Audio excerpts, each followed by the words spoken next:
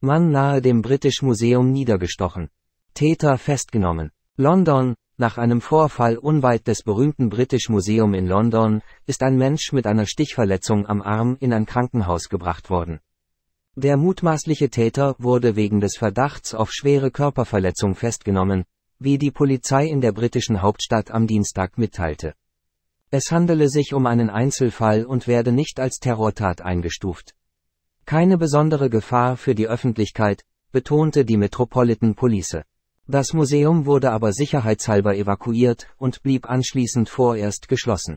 Der Tatort an der Kreuzung von Russell Street und Museum Street ist nur wenige Meter vom Eingang entfernt.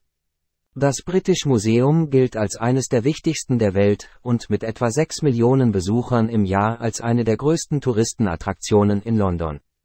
Es beherbergt einige der bedeutendsten Kulturschätze der Menschheit, darunter die Parthenon-Skulpturen, den Stein von Rosetta sowie ägyptische Mumien.